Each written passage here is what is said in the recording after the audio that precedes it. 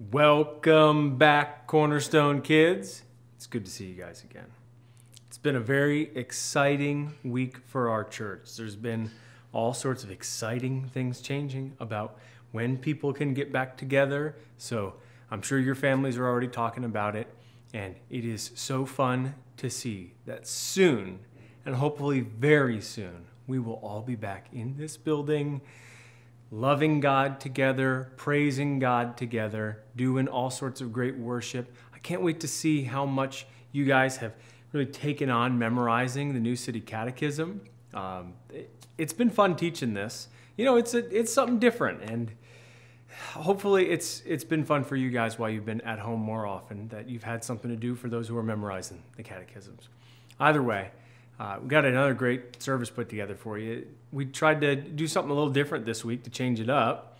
And, um, well, Miss Priscilla will be leading you guys through the book of John as we continue in the preschool series on John tells all about Jesus. And Miss Megan has new songs for you that, um, you know, we're going to do them for about a month. And there's a good chance that you guys will be here singing those songs with Miss Megan before we change out the songs again.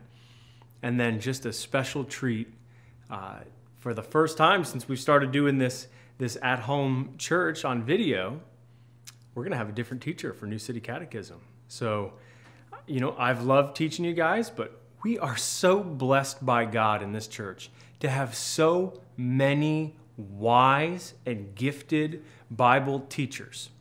And uh, it'd be hogging if I got to have all the fun teaching you guys from New City Catechism. So this week, we will have Mr. Rob come and teach you guys New City Catechism. So I'm excited to see what Mr. Rob has to say. I'm excited for new songs. But first, preschool kids, are you ready for Miss Priscilla to teach you from the book of John? All right, let me pray for you since I'm not going to see you guys at the end of this. It's going to go to those other teachers. Um, so let me pray for you guys, and I hope that you enjoy worshiping God with all these gifted leaders we have here at Cornerstone.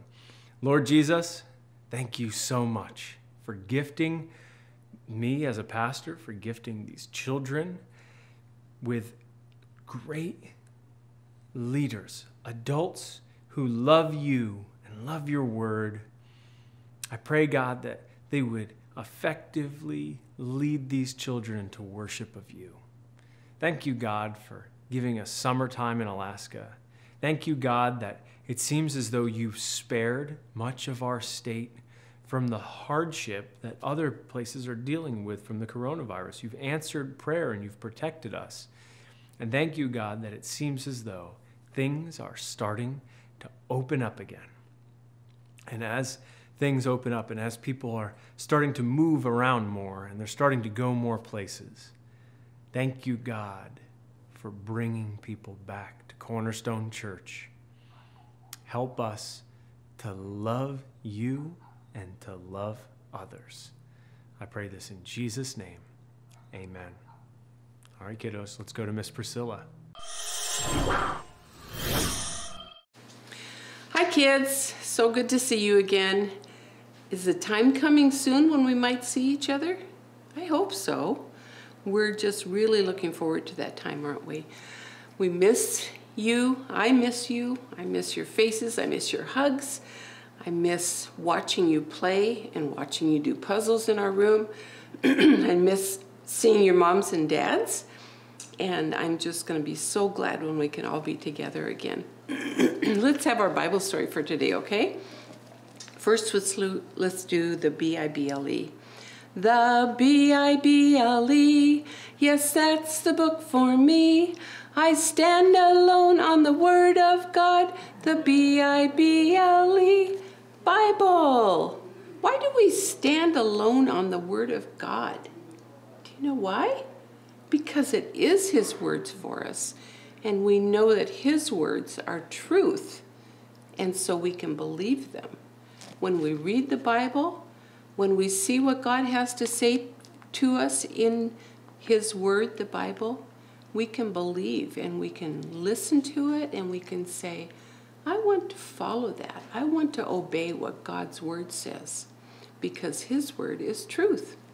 So, what's our Bible story for today? Remember, we're in the book of John again. The book of John was written by one of Jesus' disciples. His name was John. And he wrote to tell us all about his experiences with Jesus, the things that he heard Jesus say, the things that he saw Jesus do, the things that he was able to talk with Jesus about, and he saw Jesus do so many things. We saw him in our stories. We have we have talked about where Jesus turned water into wine. We have talked about um, when Jesus was with the woman from Samaria. Do you remember that story? That was our story last week. And the woman from Samaria came to Jesus at the well. Do you remember? And she and Jesus had some good talking back and forth, and she had some good questions. And Jesus answered her. Jesus told her about all the things that she had done that she wasn't very happy with. But Jesus told her that he was the Messiah, and she got so excited. She thought, this is finally the Messiah that's here. And she went running to the town where she lived and she told everybody that she knew about Jesus that he was the Messiah. And those people came out to Jesus where he was by the well and they said, Would you come and stay with us for two days and talk to us and teach us more? And so Jesus and his disciples went to this, this town where the Samaritan woman lived. And he talked to them and he taught them, and so many people believed on Jesus during that time. And at the end of that time, they said, This man is the Savior of the world. So that's one of the names that we know Jesus by, isn't it? Well, today our story is happens shortly after his time in Samaria because he left Samaria and he went on up to Galilee. And in, in Galilee, it was a big area. But in Galilee was the town of Cana. Remember, that's where he turned the water into wine.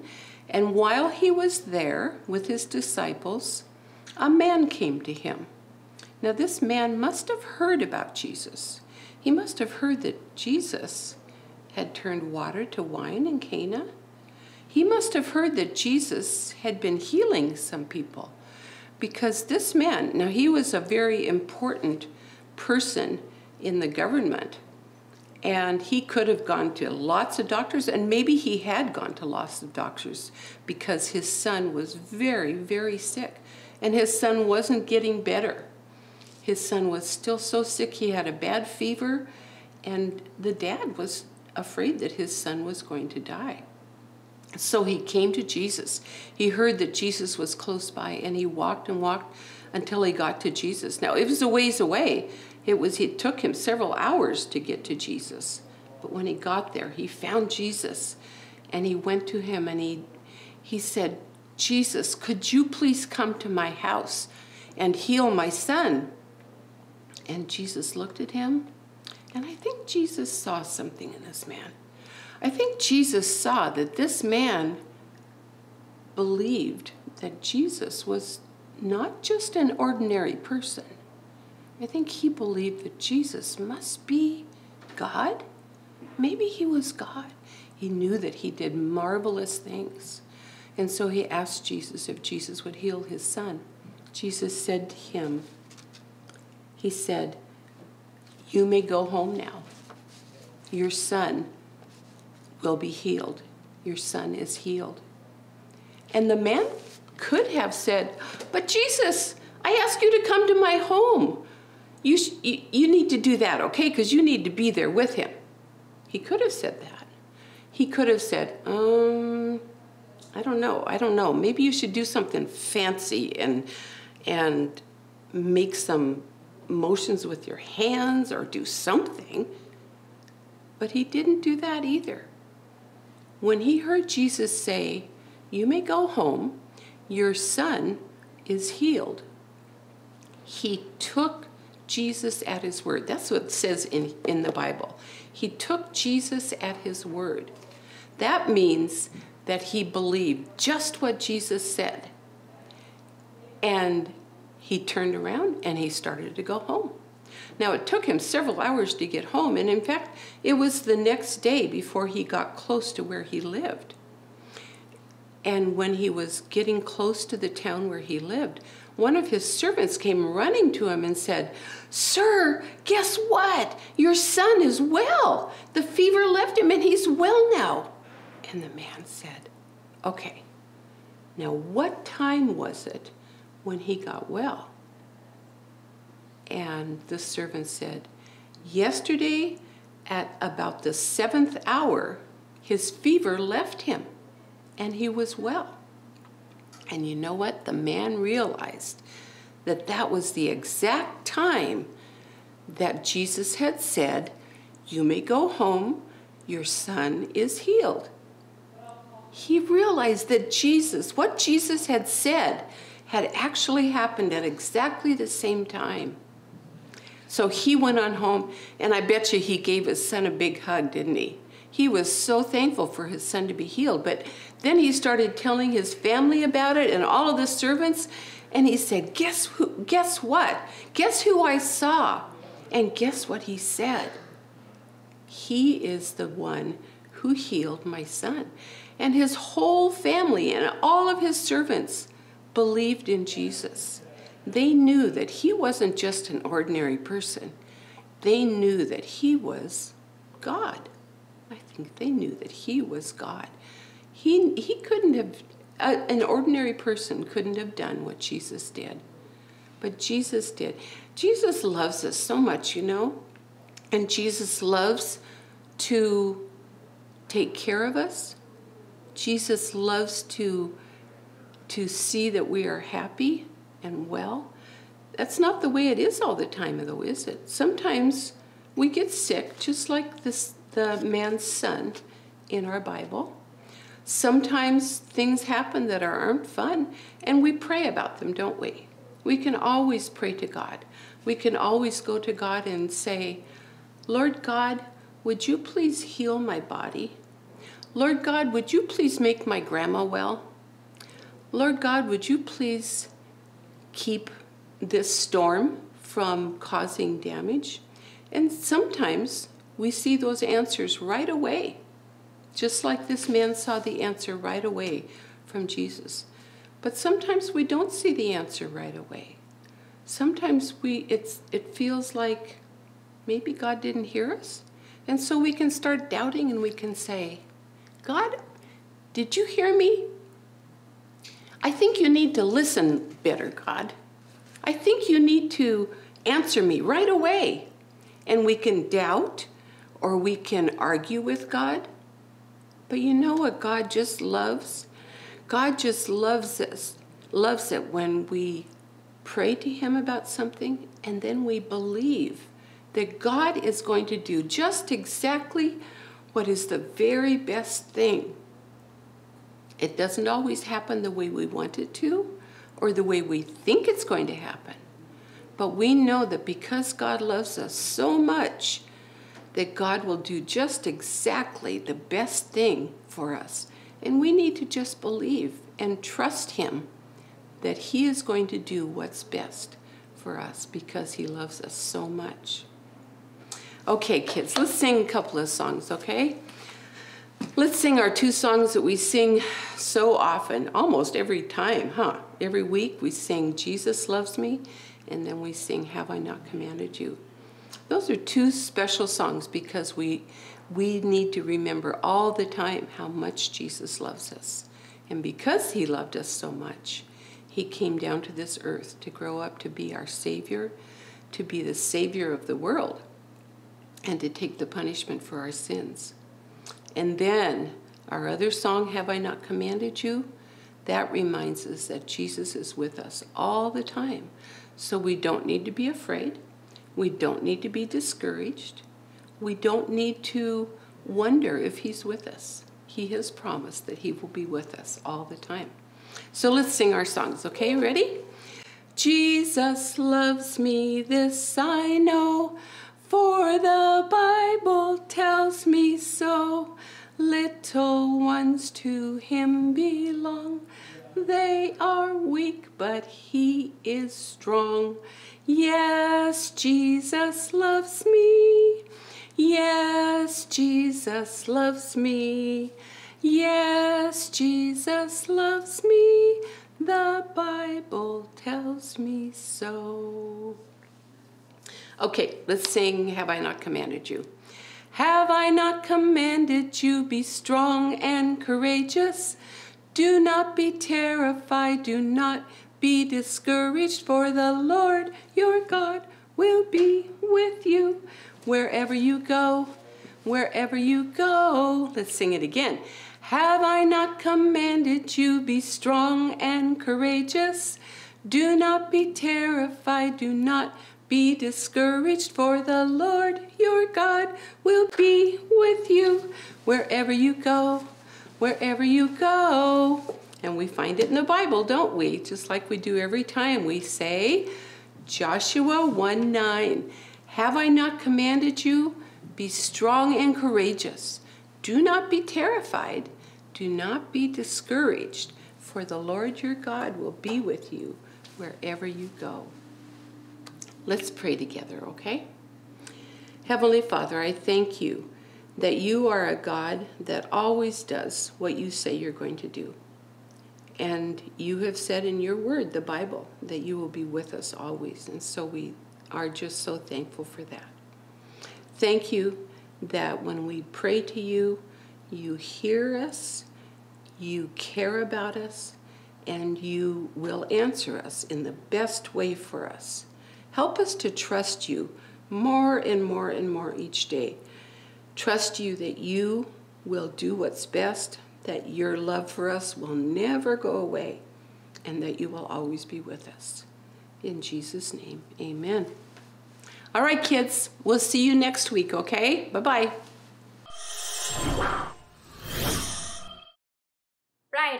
Song is going to be I Am Free. Whenever summer approaches, it feels like we are given so much freedom, right?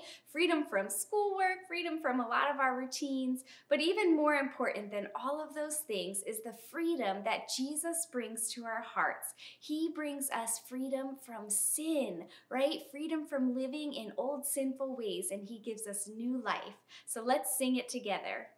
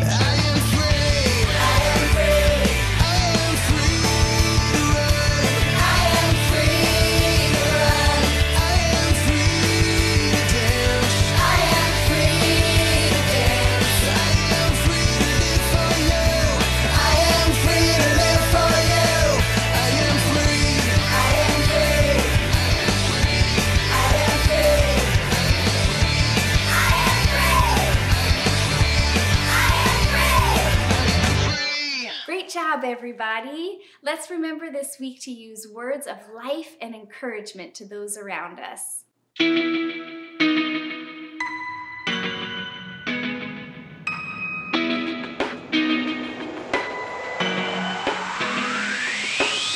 Some days life feels perfect, other days it just ain't working. The good, the bad, the right, the wrong, and everything in between. Yo, it's crazy, amazing, we can in our heart through the words we say. Mountains crumble with every syllable. Hope can live.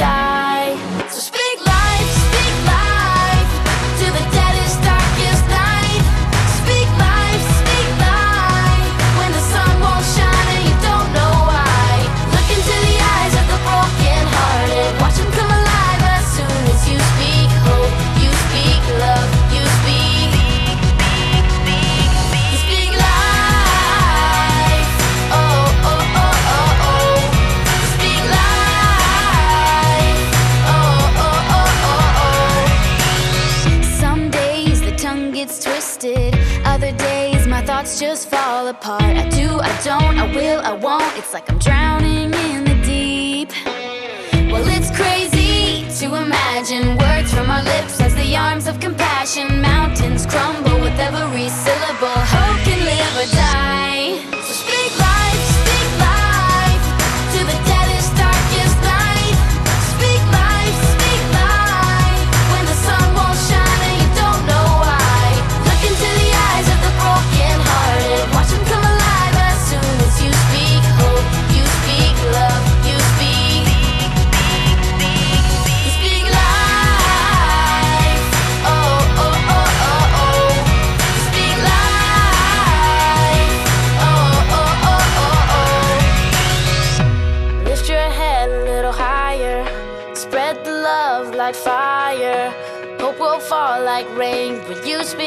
with the words you say. Raise your thoughts a little higher.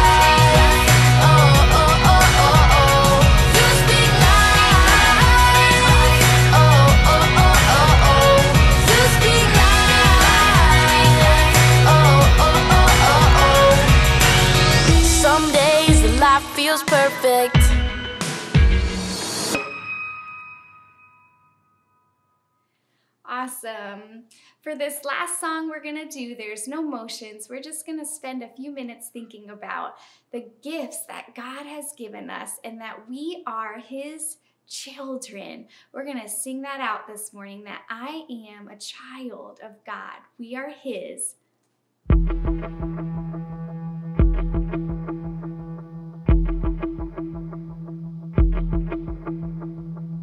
Who am I that the highest king would well? was lost, but he brought me in. Oh, his love for me.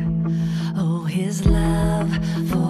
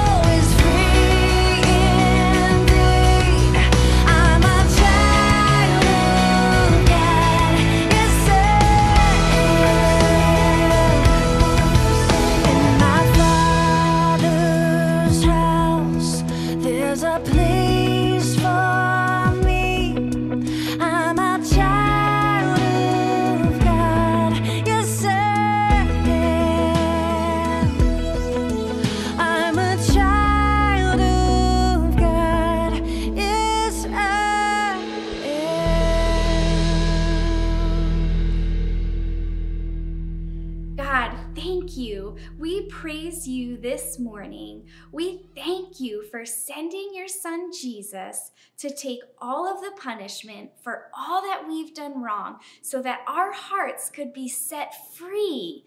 Thank you for that. Thank you for cleansing our hearts, God. We praise you for who you are. You alone are the one true God, and you alone can bring salvation. God, I pray this morning that you would continue to strengthen my friends. And God, that as we hear your words of truth, that they would bring power to us in our lives to change who we are, God, to bring you glory and to share that love with those around us. We pray all of these things in your name. Amen.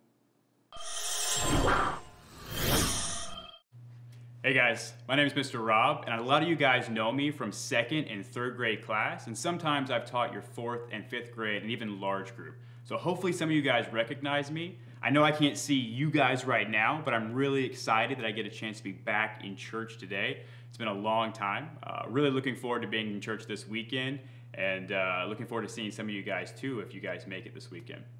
For uh, before we get started with our New City Catechism, we're going to talk about one announcement and that is the Awana Drive Up Award delivery. Now, for those of you that had your name announced in the Awana Award ceremony, this is for you. So this Tuesday, everybody say at home, this Tuesday, make sure you tell your parents from 6:30 to 8 p.m. you have an opportunity to drive to the church and to actually pick up your award from some of your leaders. So you get a chance to see some of your leaders here to give you your award. Now, if you can't make it on Tuesday from 6:30 to 8 p.m., then we can bring that gift to you.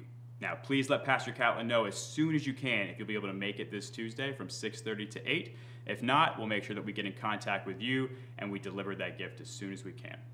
All right, I think that's all of our announcements. And without any further ado, we're going to jump right into the New City Catechism, question number eight. Before we do so, why do we study the New City Catechism? I think I heard some of you guys answer that question. Because what we think about God uh, affects what you think about everything else. So, Pastor Catlin talked about that last week in terms of how we think about God affects the rest of our life.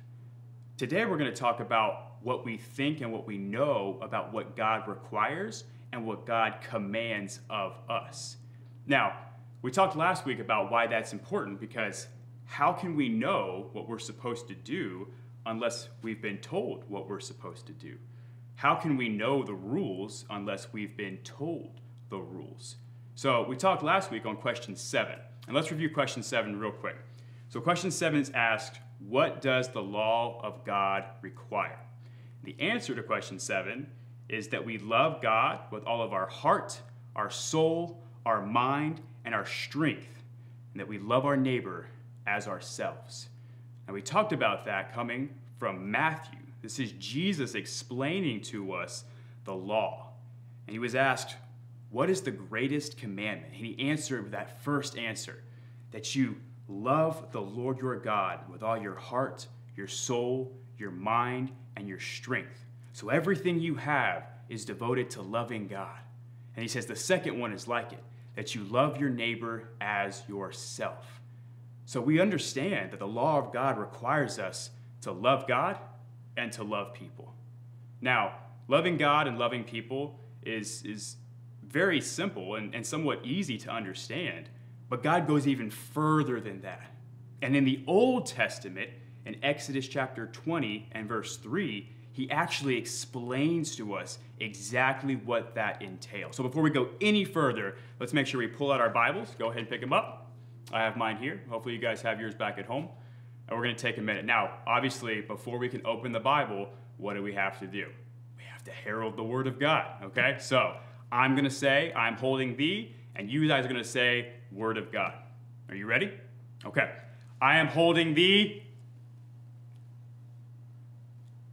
Wow, actually, I think I heard you guys from all the way over here. Well done, well done. Okay, well, you're still louder than I am, so great job, guys. Okay, so without any further ado, open your Bibles to Exodus chapter 20 and verse 3. If you guys aren't sure where that is, that's on the far left side in the Old Testament. It's the second book of the Bible. We've been talking about Exodus for quite a while, so hopefully you guys already have that picked out.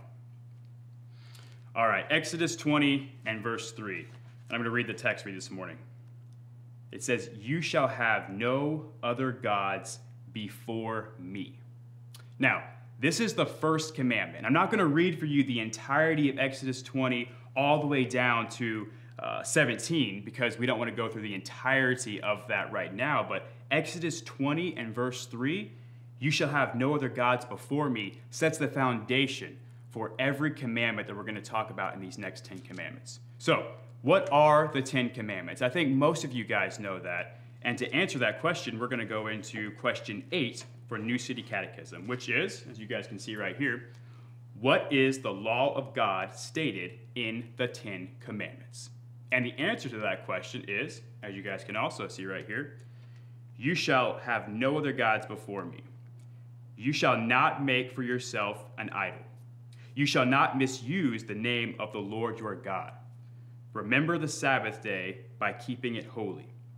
Honor your father and your mother.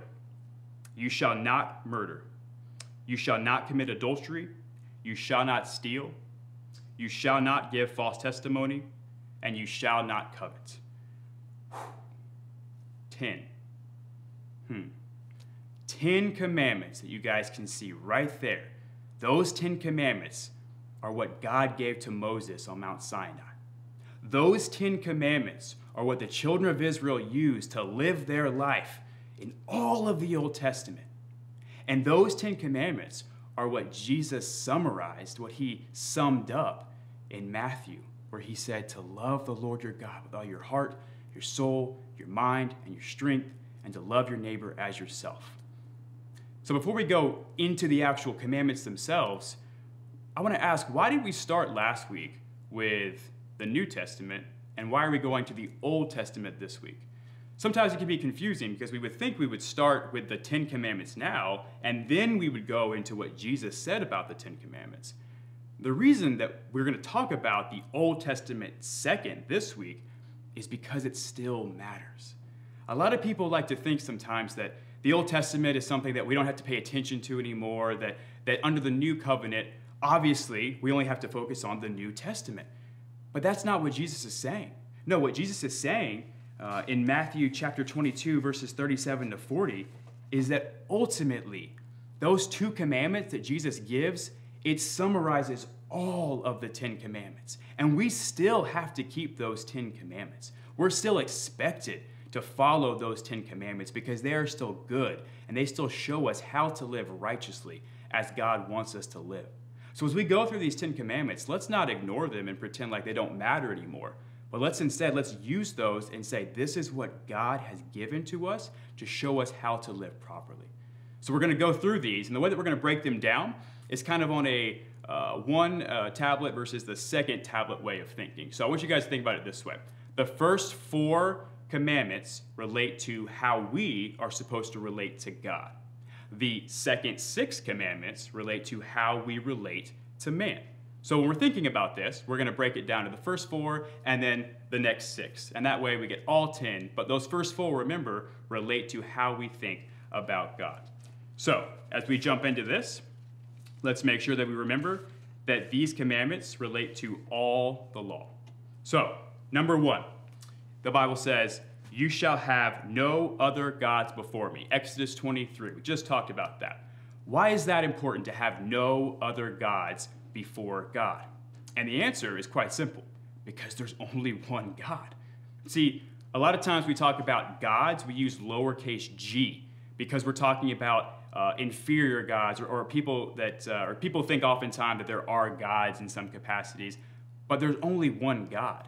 And the big word I'm going to teach you today for that is the word monotheism. And that word really just means mono, one, and theism, God. And so we say Christianity is a monotheistic religion. The reason that we believe there's only one God, it's quite simple. It's because if there were more than one God, they wouldn't be God. Because the definition of God is someone who is all present, all powerful, all knowing. And if you can't be all present, all powerful, and all knowing because you're sharing that power with someone else, then you're not God. So remember that, guys, that there is no other God before God because there's only one God. Very important to remember, and that lays the foundation for these first four and even these Ten Commandments. Now, the second commandment teaches us something that says, You shall not make for yourself an idol. See, this sounds kind of like we're saying the same thing, right? We, we know there's only one God, and we know that we're not supposed to make idols now. But I, I thought, you know, there's only one God, so why would we even have a problem with making an idol? And here's what God is saying when He says, You shall not make for yourself an idol. A lot of times we try to imagine God in some capacity. We, we try to create images of God that we think uh, will honor Him, maybe, or we think will perhaps be what He's like. But that's not our job. You see, God has revealed himself to us. God has shown who he is to us in the person of Jesus Christ. And in that revelation, that is the perfect embodiment of God because Jesus was God. So for us to try to take, for example, like the children of Israel did with Aaron, this golden calf, and to build this, this large, large creature, animal to uh, honor and to represent God, is in fact idolatry. And they did that at the bottom of the mountain while Moses was at the top of the mountain receiving the law of God. And while he was doing that, Aaron took the people and created this giant golden calf and said, This is your God. This is who got you out of the land of Egypt and has brought you here. But in fact, that's not what God looks like. That is not what God has revealed himself to be, because the perfect revelation of God is again in Jesus Christ. So let's remember that number two talks about how we create images or how we understand God to be. Number three, you shall not misuse the name of the Lord your God. Now, this one is one that I'm really, really passionate about. I'm passionate about all 10, but this one is, is very near and dear to me. I doubt most of you guys who are watching this have a hard time with this yet, but just take my word for it. The older you get, the more that you might hear people misuse the name of the Lord your God. And what that may mean is that you may be tempted to do the same thing. So let's think about how the children of Israel thought about God. They had a name for God, the name for God, that was so holy, that was so sacred and so set apart, they wouldn't even say it. They wouldn't even write it fully out. Let's think about the fact that they took God's name so seriously, they wouldn't write or say it. But today, oftentimes, we hear people say the name of God or say the name of Jesus in a way that doesn't glorify and doesn't honor God. Now, praise God that we have a relationship if we are chosen by God and we are redeemed, that we can know Him as our Father and we can pray to Him and we can pray to the Father through Jesus. So we can use those names to glorify God. But how can we justify taking the name of God and using it in a way that doesn't glorify Him? It, it's just something that doesn't really make a lot of sense to me. Uh, it's something that unfortunately we do see a lot of in places, in other parts of the world, and other parts outside of the church. So I encourage you guys, while it may not be something that you take, uh, it may not affect you too much now, it's something that the older you get, the more you're going to see. And I want you to always take the name of God seriously and to always use it in a way that glorifies Him above all else. And the last one that relates to God we're going to talk about says, Remember the Sabbath day by keeping it holy. So the word Sabbath, what does that word even mean? It's kind of a weird word, right? Well, it's actually from the Hebrew. And the Hebrew, remember, is what the Old Testament was written in. And that word Sabbath means Shabbat. And the word Shabbat literally means to cease or to stop. So let's read that again. Remember the day of ceasing by keeping it holy. So, what is God saying when He's saying, remember this special day of ceasing? What, what, what, are we ceasing? What are we stopping? And the answer is work. See, that's the day that for uh, the Old Testament, on Saturday, they ceased working. There was no more uh, working in the fields. There was no more having to go to work altogether. Instead, it was a day focused solely on God and on resting your soul, resting your body, and resting your mind in the Lord. Now, today, the first day of the week, is our Sabbath. So we have Sunday. And that's why you guys come to church on Sunday, or most often we come to church on Sunday. So the same concept applies. That is the day that we are to cease from work. Which doesn't mean we don't have to go anywhere, because obviously we still come to church, and obviously we still worship God, and obviously Pastor Catlin or Pastor Brad, they're still here preaching the Word of God. It doesn't mean we cease from doing anything altogether. What it means is that we focus solely on God so that we can rest in Him. And ultimately, that pushes us or it focuses us on something that's going to happen in the future. And that is when we have perfect rest in Jesus. That is when we have perfect fulfillment of everything that we've read in the Bible. And we now know that we don't have to wake up and go to work anymore. We don't have to struggle through living in this life. We don't have to fight against the sin that we have to combat. We're going to talk about sin in the next coming weeks. But instead, we have the opportunity to simply rest in God forever. What an amazing thing the Sabbath day points us towards. We're going to go a little bit faster through these next six, but remember, those first four there are the first four that relate to our relationship with God. Now, these next six relate to our relationship with man. Number five says, honor your father and your mother. So, honoring our father and mother seems pretty simple, and honestly, it is pretty simple.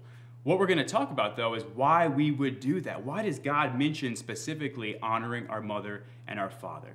And the answer to that is that God has established the family. That family is the unit that He uses to teach us and to grow us. And for you kids watching at home, your mom, your dad have the opportunity to help you grow in the Lord. And that's what God has established the family for to allow us to not simply have to grow up uh, on our own or to have to grow up and, and try to figure things out, but instead we have the opportunity to have the family, that mother and that father, that can actually teach us the Word of God, nurture us, and help us to grow in Him. So remember, honor your mother and your father, obey your mother and your father, because God has commanded you to do so. Number seven teaches us that you shall not murder. Now, murder is something that we all probably understand is bad to kill someone uh, who we have no right to kill. So, an actual translation in the King James Version says, You shall not kill. That's how it translates that same commandment. Now, why does the Bible says you shall not kill, you shall not murder? Is there a difference? And the answer is yes, there is a difference. Because we have life, and that life is given to us by God. God ultimately controls and commands life. And God at times has commanded when life would be removed, when people will die. And He has at times, and we can read it in the Old Testament, especially in the book of Joshua, where the children of Israel conquered other people, and to do so, they did kill. Now, that was not sin for them because God ordained that. However, for us, if we kill someone or if someone dies and God did not ordain it, then we are breaking one of the commandments. Okay, number seven. It says, You shall not commit adultery. Hmm. So, the way that we're going to talk about this, adultery is something that happens when two people in the most intimate relationship that humans can know, which is a husband and a wife, when one of them steps outside of marriage and chooses somebody else. I'm married, so everybody can see this ring on my finger right here. I'm married to Miss Rachel, and some of you guys might know her, hopefully you do. Beautiful, awesome woman, and I'm so blessed that God has given her to me to be my wife for the rest of our lives. If she ever chose somebody else instead of me, now that we're married, that would break my heart. So, why does God tell us this? Obviously, it matters to us. Obviously, it means something to us but it also represents something else. Because when we choose to sin, when we choose to break one of these commandments, to go outside of the Ten Commandments that God has given to us, we're breaking God's heart. The same way as if she chose somebody else, we're choosing something else. We're saying, God, I see you. I know your commandments for me. But instead, I'm going to choose this sin. I'm going to choose this other thing that you don't want me to do. And in the same way that that breaks my heart, it would break God's heart. So let's remember that God has given us these intimate relationships, and they are a representation of our relationship between us and God. Number eight, the Bible says, You shall not steal. Very simple. I think we can all understand that taking things that don't belong to us, and hopefully you guys all know that's wrong, is in fact a sin and is breaking a commandment that God has given to us. Number nine says, You shall not give false testimony. That means you shall not lie. You shall not, if you are brought, um, if, if something happens at home, let's say, and your parents ask you, Hmm, did you see your brother or did you see your sister do this thing? And you didn't really see it. You have no idea what happened, but you lie and you say, Yes, I saw them take that cookie, or Yes, I saw them break that vase you're giving a false testimony. You are lying against your brother or your sister, which is something that the Bible also commands us not to do. And number 10 says, You shall not covet. Coveting is when we desire something, we want something that somebody else has. It's not ours, but instead we say, I want that new toy. I want that new, for some of you older kids, car. And probably most of you aren't driving, but for me, you know, that might be something I struggle with. I want that new house. I want blah, blah, blah, blah, blah. Fill in the blank for whatever you want that somebody else has, but that is coveting. We are wanting what they have instead of appreciating what God has given to us. Godliness with contentment is great gain. So these are the Ten Commandments. We've gone through all ten of them now. The first four relating to God, and the last six relating to man and how we're supposed to actually relate. So the final question I'm going to ask you guys is why does this matter? We've seen through these 10 that even though there's only 10 of them, it's still kind of a lot. I mean, we covered a lot of ground here. We, we went from all the way from having one God to not coveting and everything in between. And sometimes it can be kind of hard to remember them. Sometimes it can be kind of difficult. Is it important that we keep all of them? I mean, if, what if I kept only nine? Let's say I was almost perfect and I only did one wrong thing. I only broke one commandment. Do you think God would be okay with that? I mean, it's only one out of 10. No. Because God demands and He expects perfection. He says that in order for you to be with me, you have to be righteous and you have to be holy as I am holy. Which means God keeps all 10 of these commandments perfectly. So, a tie in to our next week's question is uh, Can we ever keep the law of God perfectly? Can we ever live perfectly? And uh, we're going to talk more about that next week, so I won't give away the answer right now. But just remember that breaking even one commandment is something that goes against God. And it is something that is ultimately going to put you in danger of death. So let's not take lightly any of these commandments, and let's make sure that we keep them to the best of our abilities. Pray with me. God, we thank you so much for the opportunity that we have to even from home get a chance to understand, to learn from, to read, and to hear your word. God, we thank you that we don't have to sit here and to be isolated, but instead we can be part of the body of Christ, part of the church. And I thank you, Lord, for this word that you've given to us, for these 10 commandments that you have placed in our lives. You've given us this word that we can now read in our own language, and we have the opportunity even to understand it. And God, I thank you that you have made clear to us what it is that you expect and that you command of us.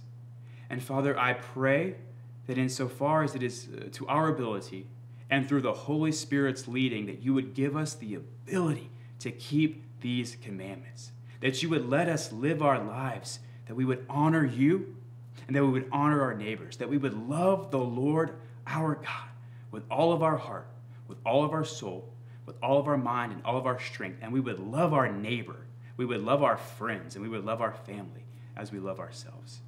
God, we thank you for this opportunity that we have to recognize your word. And I pray now that as we have an opportunity to finish this prayer, we would actually live that word. We pray all these things in Jesus' name. Amen. Great work, brother. That was awesome with the adult.